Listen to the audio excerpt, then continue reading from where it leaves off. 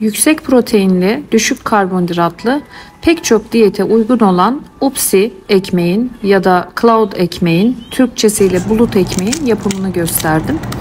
Öncelikle iki tane yumurtanın sarısını ve beyazını birbirinden ayırıyorum.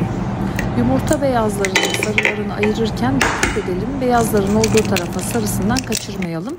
Yumurtaları oda ısısında beklettikten sonra kullanırsanız daha iyi sonuç elde edebilirsiniz. Yumurta beyazlarının üzerine yarım çay kaşığı tuz, bir tatlı kaşığı kabartma tozu koydum ve onları güzelce köpürttüm. Aynı beze yapar gibi e, köpürtüyoruz bu arada. Kıvamı iyice sertleşmeli. Kabı ters çevirdiğimizde e, videoda gösterdiğim gibi hiç yere dökülmemeli. Bu çok önemli bir püf noktası. Yumurta sarılarının üzerine 2 çorba kaşığı dolusu ev yoğurdu koyuyorum. İsterseniz labne ya da krem peynir de kullanabilirsiniz. Ve aroma vermesi için maydanoz ve fesleğen kurusu ve soğan tozu koydum. Bu şekilde yumurta kokmamasını sağlıyorum.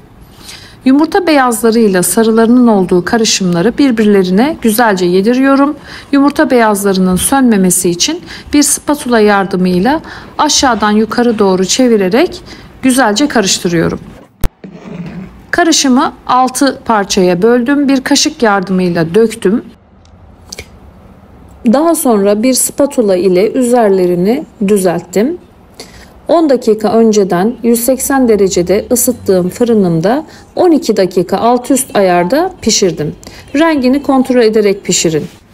Bulut ekmeklerim hazır. Şimdi onları istediğim gibi sandviç yapabilirim. Videoda bir örnek göstermek istedim.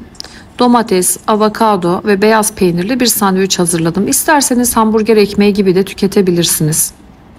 Videomu beğenmeyi, kanalıma abone değilseniz abone olmayı ve bildirim ziline dokunmayı unutmayın lütfen. İyi günler.